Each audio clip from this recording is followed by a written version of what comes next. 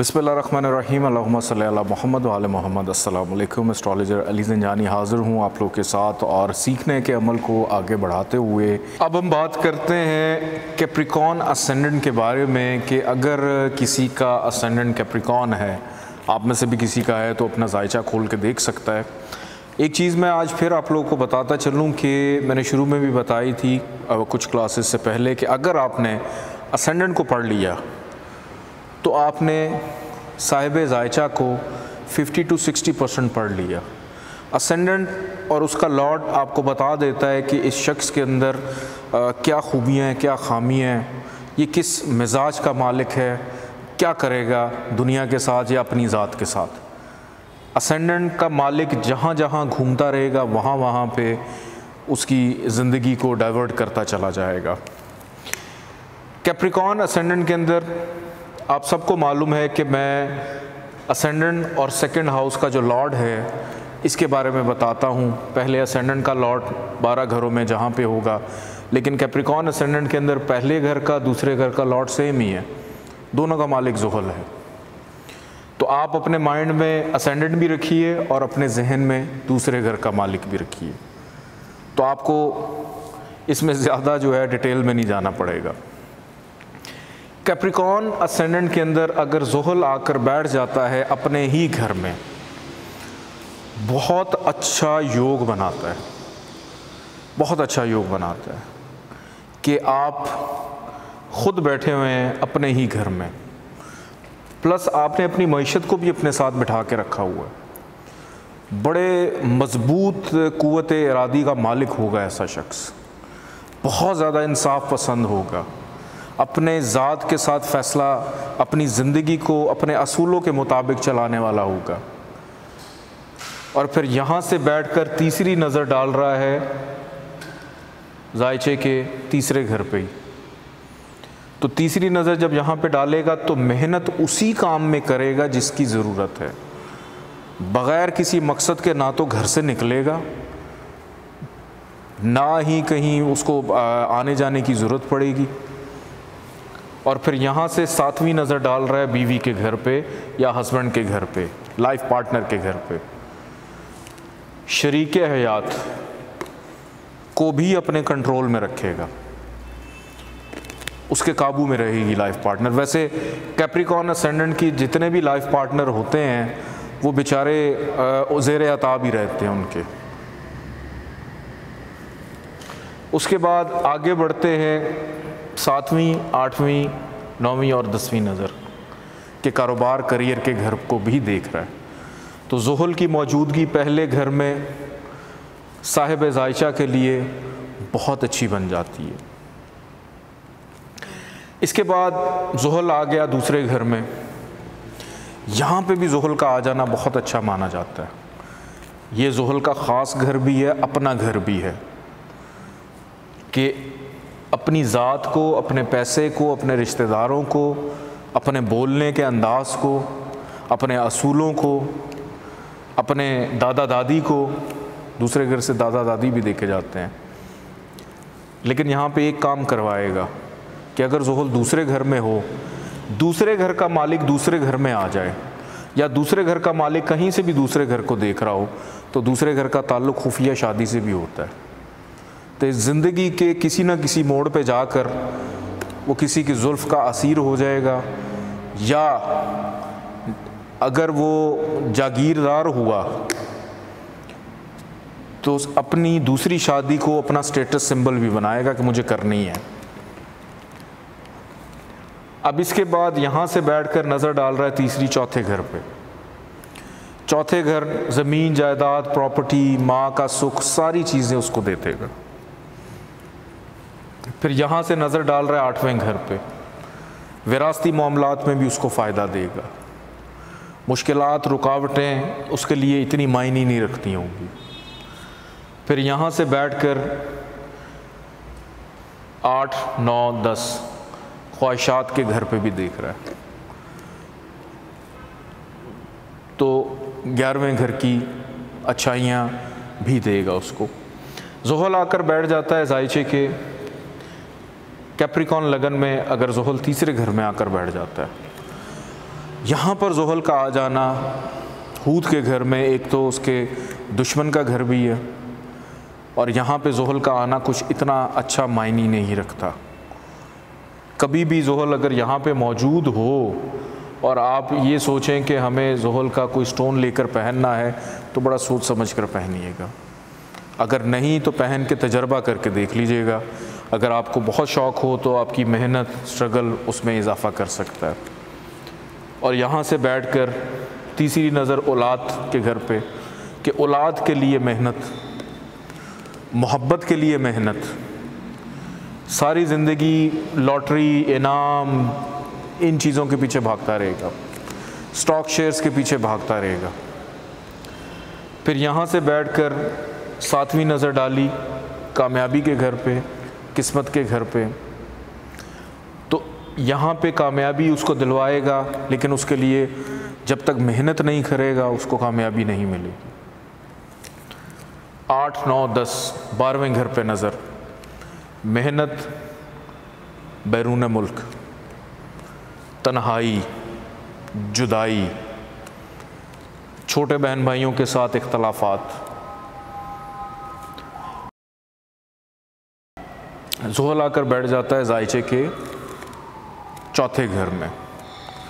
सारी थ्योरीज़ यहाँ पे फ्लॉप हो जाती हैं, बस एक थ्योरी रहती है कि यहाँ पे जोहल को हबूत होता है डिबिलिटेट हो जाता है।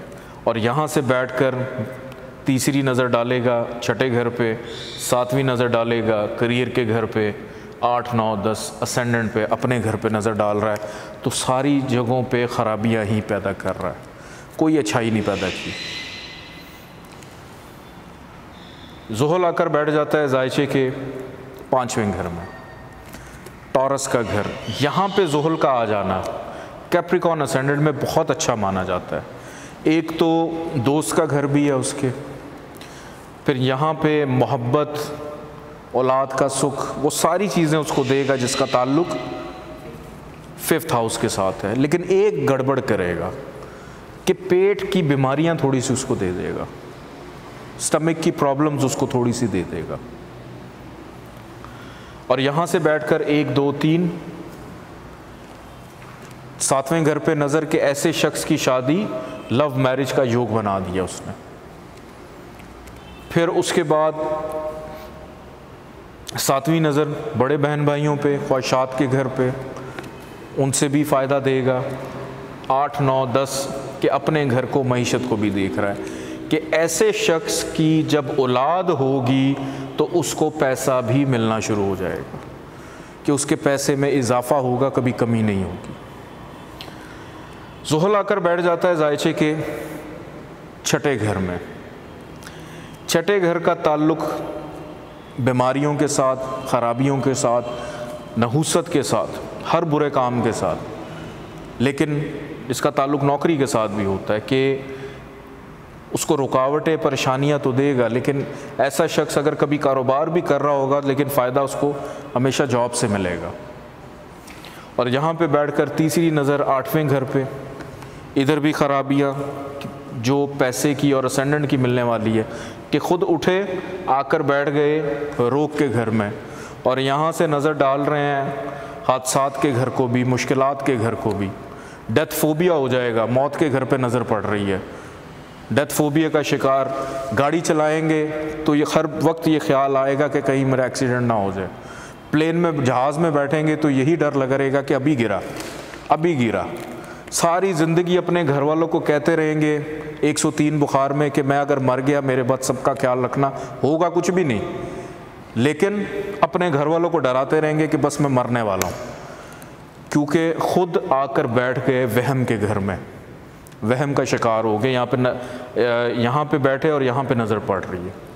और यहाँ से सातवीं नज़र इसकी पड़ रही है, बारहवें घर पे, आठ, नौ, दस मेहनत के घर पे तो ख़राबियाँ ही देगा। जहल आकर बैठ जाता है जायचे के सातवें घर। यहाँ पर आकर जहल का बैठ जाना कैप्रिकॉन असेंडेंट में अच्छा होता है, कि यहाँ से बैठकर अपने आप को देख रहे हैं।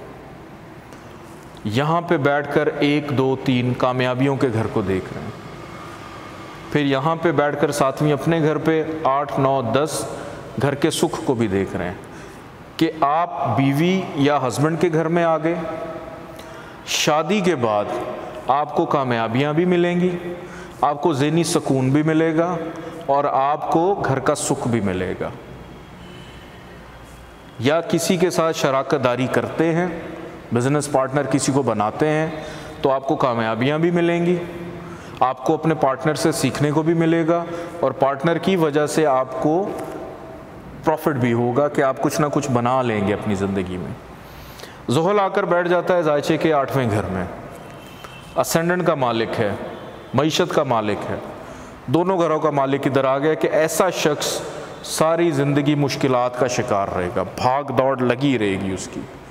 फिर कारोबार के लिए, करियर के लिए हमेशा भागता रहेगा।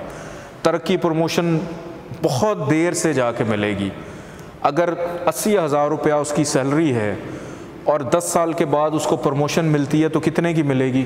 दो हज़ार रुपया ज़्यादा कर देंगे कि आटे में नमक के बराबर, कि उसका भी कोई फ़ायदा नहीं। फिर यहाँ से अपने घर को देख रहा है मीशत को नुकसान, आठ, नौ, दस औलाद के घर की प्रॉब्लम।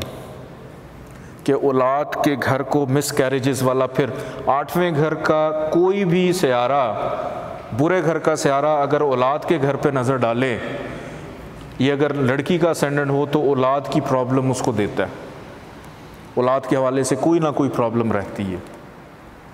लड़के का होगा तब भी प्रॉब्लम देगा, लड़की का होगा तब प्रॉब्लम भी देगा मिस भी करवाएगा, या कंसीविंग में प्रॉब्लम हो जाएगी। आगे बढ़ते हैं। जायचे के नौवें घर में अगर जोहल असेंडेंट का मालिक आकर बैठ जाता है, अतारत के घर में जो कि बहुत अच्छा हो जाता है यहाँ पे आके। यहाँ पे आकर ख्वाहिशात के घर पे तीसरी नज़र, मेहनत के घर पे सातवीं नज़र, आठ, नौ, दस बीमारियों के घर पे उसकी दसवीं नज़र। तो जहल का यहाँ पे आकर बैठना बहुत अच्छा माना जाता है कि ऐसे शख्स को यूँ समझ लें कि मुकद्दर का सिकंदर वालिद के लिए भी हो गया और अपने लिए भी हो गया। बैरून मुल्क लेकर जाएगा उसको, बैरून मुल्क का योग बना देगा ट्रैवलिंग बहुत करेगा, लंबे लंबे सफ़र किया करेगा। जोहल आकर बैठ जाता है जायशे के दसवें घर में। असेंडेंट का मालिक और दूसरे घर का मालिक असेंडेंट में आकर बैठ गया। सबसे अच्छा हो गया, यहाँ पे जोहल को शर्फ होता है, बुरज मैज़ान में। अच्छी जगह से बैठकर बारहवें घर को देखेगा, चौथे घर को देखेगा और सातवें घर पे तो अच्छी ही नज़र डालेगा। एक घर बीच में ख़राब आ गया, उसकी ख़राबियाँ दूर करने की कोशिश करेगा। करियर का घर है तो बैरून मुल्क उस शख्स का ज़रूर कोई ना कोई घर होगा, कारोबार होगा और वहाँ पे जाके वो रहता भी होगा। जहल अगर आकर बैठ जाता है जायचे के ग्यारहवें घर में ग्यारहवा घर कारोबार में मुनाफे का घर होता है। ख्वाहिशात की तकमील का घर होता है। दौलत के सुख का घर भी होता है ये। जैसे ये आप हैं, आपका जो सुख है वो चौथे घर में है। ठीक है, फिर उसके बाद आप यहाँ से अपने जायचे को जब रीड करना शुरू करते हैं आपने अपना सुख देखा, दौलत का अपनी ज़ात का सुख देखना है, एक, दो, तीन, चार चार घर आप आगे चले जाते हैं। ठीक है, अब उसके बाद आपने ये देखना है कि ये आपकी मीशत है। मीशत का सुख आपने देखना है। एक, दो, तीन, चार, ये आपको पाँचवें घर में मिलेगी। अब मीशत से एक, दो, तीन, चार, पाँच छः सात, आठ, नौ, दस। दसवां घर क्यों इम्पोर्टेंट हो गया दूसरे घर से? ये आप हैं, ये आपका करियर है, ये आपकी इज़्ज़त है। इसी तरह ये आपकी मीशत है। तो जो ग्यारहवा घर होता है जायचे के अंदर, ये साहिब जाचा की दौलत का, उसके मुकद्दर, उसके नसीब, उसकी इज़्ज़त का घर होता है कि ऐसी दौलत जो आप मेहनत से कमाते हैं, वो आपको फ़ायदा दे, आपके लिए नुकसान दे ना हो। आपको उससे इज़्ज़त मिले। यहाँ पे अगर जहल आ जाता है दूसरे घर का मालिक तो आपको फ़ायदा देता है, सिवाय बीमारियों के छोटी मोटी बीमारियों के, और कोई प्रॉब्लम नहीं देता। यहाँ से असेंडेंट को देखेगा, अपने ही घर को तीसरी नज़र। सातवीं नज़र औलाद के घर में, औलाद का सुख भी देगा। फिर उसके बाद आठ, नौ, दस, आठवें घर की ख़राबियों को भी दूर करने की कोशिश करेगा। जोहल आकर बैठ जाता है जायशे के बारहवें घर में। बारहवें घर का मालिक मुश्तरी मुश्तरी की जोहल की वैसी आपस में नहीं बनती। बारवा घर वैसी खाना है नहूसत कि आप ख़ुद उठे बारहवें घर में चले गए, मीशत भी बारहवें घर में चली गई अखराज भी इधर चले गए, सारी चीज़ें चली गई, सिवाय इमिग्रेशन के और कुछ भी नहीं। या बारहवें घर का ताल्लुक खल के खुदा की खदमत से होता है कि जो कमाया, दूसरों को दे दिया, अपनी जेब में एक रुपया भी ना रखा। यहाँ से तीसरी नज़र उसने डाली, दूसरे घर में अखराज आने से पहले ही ख़र्चे तैयार, फिर बीमारियों पर नज़र डाली आठ, नौ, दस कामयाबियों को भी ख़राब करेगा कि आपको कोई फ़ायदा ख़राब जगह से ख़राब, अच्छी जगह पे नज़र भी पड़ रही है तो कोई फ़ायदा होने वाला नहीं है। तो ये हमारा आज का लेक्चर था। मैं उम्मीद करता हूँ कि बहुत सारी चीज़ें आपको सीखने को मिली होंगी। अपना बहुत सारा ख्याल रखिएगा। अल्लाह हाफ़